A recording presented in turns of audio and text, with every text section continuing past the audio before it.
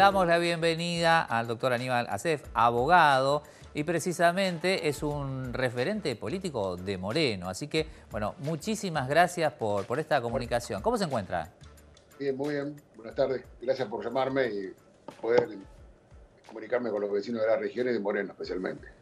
Bueno, justamente, ¿no? Moreno allí, Moreno no es eh, indiferente a esta situación que atraviesa al país en medio de una pandemia, ¿no? Y recién veíamos un gastronómico que nos decía que se tuvo que adaptar para no bajar los brazos. ¿Lo mismo pasó allí en Moreno? Sí, lamentablemente la crisis que azota a toda la región o a todo el país. Lo mismo Moreno, hoy estaba en una reunión en una casa y viene una señora y dice, hagan algo porque fui a tres comercios que cerraron, que habitualmente, porque se fundieron. Eh, en definitiva, las medidas eh, sanitarias, que fueron más medidas políticas que sanitarias, porque no fuera acompañado de todo lo que han explicado los que son idóneos en el tema sobre los testeos y mayor capacidad de vacunación, ha conllevado a que el, gobierno nacional, el provincial y municipal, en mi caso y en mi comunidad, que son del mismo signo político, tomaron medidas de restricción comercios, industrias y de personas en vez de ir este, tomando medidas de otras características. Lamentablemente esto ha llevado a un quiebre y en vez de haber apuntado a convivir la salud y la economía, fundieron la economía con un fracaso en salud, porque casi 100.000 muertos, atrasos en las vacunas, politización de las vacunas, utilización política de las vacunas, en definitiva no conformó a nadie y llegó a este quebrantamiento. Comercial, como bien decía este hombre, puede resistir el rubro alimenticio, algunos han podido soportar la crisis y otros han cerrado sus negocios y lo más triste, están emigrando del país en busca de nuevas oportunidades. Espero que nos den la oportunidad en este 2021 de revertir esta situación y conformar un nuevo gobierno en el 2023. Sin duda alguna, las elecciones son un punto clave ¿no? para tratar de revertir esta situación que la gente misma me dijo, se lo está pidiendo, hagan algo, me quedé con esa frase. Bueno, pero evidentemente el político, los partidos políticos no son ajenos a la voluntad del pueblo, es una democracia representativa y la gente elige a quienes los representan en las cámaras legislativas y quienes los gobiernan en los eh, departamentos ejecutivos. Quiere decir que la gente debe decidir qué modelo del país quiere, qué forma de gobierno quiere, que respete, en el caso nuestro, que lo hacemos, la libertad de comercio, los delitos individuales, la propiedad privada, el concepto de seguridad bien entendido, de proteger al ciudadano en esto y no permitir que suelten 6.000, 7.000 delincuentes o que se haga la, la vista gorda en algunos hechos en los que está complicada la política. Bueno, todo eso queremos terminarlo, pero hace falta la voluntad popular que elige y elige la forma de gobierno. Si la indiferencia o con razón la crítica eh, abarca todo el arco político, vamos al fracaso. No somos todos iguales. Ahora bien, al margen de, perdón, al margen del coronavirus, ¿no? Que, que, afecta, que preocupa, digo, ¿la inseguridad también afecta y preocupa a los morenenses?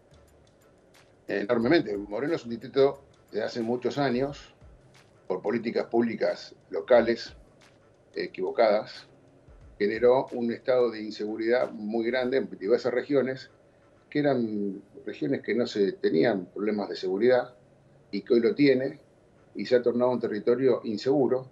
Hay efectivos, hay móviles, si bien se rompen y no se mantienen adecuadamente, tanto este gobierno como la anterior envían patrulleros, el anterior enviaba mucho más patrulleros y tecnología y fondos, pero lamentablemente no está la famosa frase que la voy a repetir siempre, que es decisión política. Si usted, como autoridad local, que es el intendente municipal, tiene mucha injerencia en el, tema de seguridad, no solamente por el peso que tiene el municipio, sino porque así lo acompañan las leyes, las eh, financiamiento que recibe tanto de la provincia como de los habitantes del pueblo de Moreno, por la tasa de protección civil, y la decisión política de no convivir, ni ser cómplice, ni ser tolerante, ni ser encubridor de las bandas delictivas, que en algunos casos, como se descubrió hace poco, estaban insertos en el municipio y eran parte de una estructura política, usted nunca va a poder terminar con este flagelo que azota a Moreno y a distintas regiones de la provincia de Buenos. Doctor, ¿y qué, ¿y qué Argentina viene después de las elecciones? ¿Se puede, se puede saber eh, más o menos qué, qué, nos va a pasar? Porque digo, es un quiebre en la región, ¿no? Digo, eh, Moreno, San Miguel, ¿a qué se atiene? Observe usted que Moreno es el segundo distrito de la primera sección electoral en cantidad de electores. Son casi 400.000, 380.000 electores que eligen autoridades nacionales, provinciales y locales. Es importantísima el peso político que tiene el municipio de Moreno en la conformación de la elección de los gobernantes. La expectativa que no tenemos es conformar una lista de unidad, de lograr que la gente nos apoye y que este horizonte, que es muy difícil porque hay que esperar dos años más de, la continuidad de este gobierno, esta elección sirve como base y como tope a lo que yo le describí anteriormente.